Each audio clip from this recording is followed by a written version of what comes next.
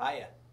So, uh, I've got a good story to tell you. When I called Fender years ago, I said, I want Guild guitars because they had just bought it. And so they said, oh yeah, you're Willie's. Do you want, um, uh, do you want Fender too? And I'm like, no, just Guild. And Fender said to me, we've never had anybody, no dealer, ask for Guild only. So that goes to show what kind of geek I am. This is a guild that I've owned for, this is probably the first vintage guitar I ever owned. I was a young kid and I bought this for 50 bucks. It says Guild X100. What's cool is the label in here is New York. If you're into guilds, this is a New York label. Guild started in 52, but they didn't have a factory. It wasn't until 53, and there's it says Guild New York 5. So the earliest tags say New York 3, and then they say 5, and then they say 7. That was the zip code. And here's an interesting tidbit. Zip code stands for Zoning Improvement Plan. If you see a zip code on anything, that five digit thing, that is post 1961, roughly.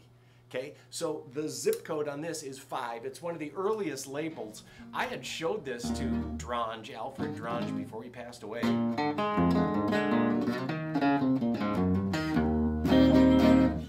So this is a, just a fantastic guild. You can see I've got a couple of classic guild 12 strings behind me here.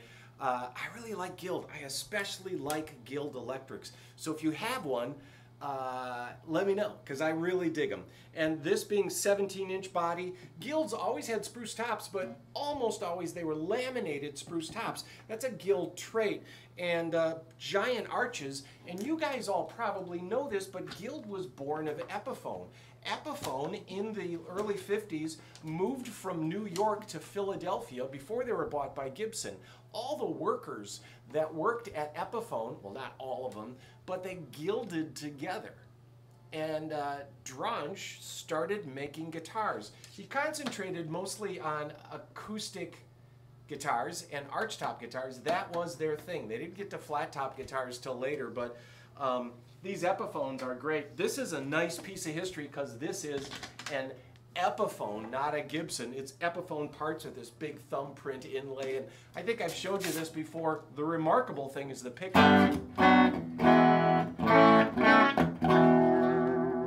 These are really, a, it's a deep sounding guitar because the chamber inside is fantastic. So um, Epiphone became Guild roughly speaking, they gilded together, the ex-employees from Epiphone, and then Gibson swung in and bought them.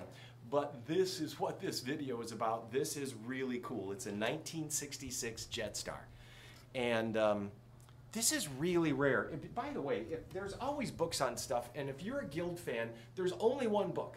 And this guy is from the Netherlands, I believe, and he wrote this book. They're big fans of guilds in Europe. They're just high quality guitars. They're real quirky, super hard to look up serial numbers. And I can see you out there. You're nodding your head. You're like, yeah, I, uh, I'm hip, man, because I can't find out when my guild was was born or dated or whatever. This guitar, the coolest thing about it is that it doesn't need a stand. That it stands up by itself. Now, Muddy Waters had one of these, and he played one because it was cheap, but they're not bad guitars. This has got a Brazilian rosewood board, this very faux Fender headstock uh, with a curly Q going the other way just so they wouldn't get sued. And yet it was kind of asymmetrical and very space-aged, very Jetsons if you will. 1966, probably designed in 65, and they're like, wow, really? Will people buy this? And no, they didn't. Uh, but it's kind of neat. Neck pickup. These pickups are made by Franz, which sounds German, but it's really New York. And Franz made these pickups. Franz made a lot of the early Guild pickups.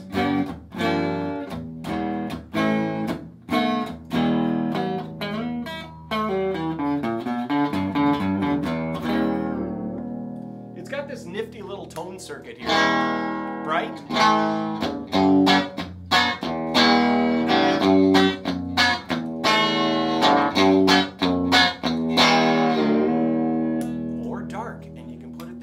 And then once you're in the neck position with your tone control dark, you are officially a jazz musician no matter what you do.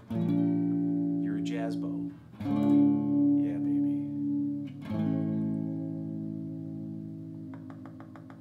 So, 1966 Guild. If you're into collecting guitars, this whole doodad here is just mind-blowingly cool. I rarely see them this original. This has the original case. If you're a huge fan, let me know. I might give you a discount on it or trade me some other guild, but this is one that's not in any books. It's really hard to find with this flame maple. It's 100% straight and uh, it's worth looking at. So there's my little guild story, and on that night, I'll let you guys go back to what you were doing. Go play some guitar.